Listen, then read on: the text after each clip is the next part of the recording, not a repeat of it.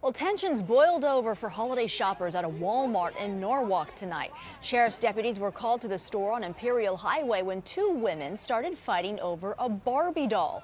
Witnesses say the women started pushing and shoving, and one of them even threw a punch. I think that was pretty stupid. that was that was very dumb. Well, deputies were able to calm everyone down, and nobody was hurt.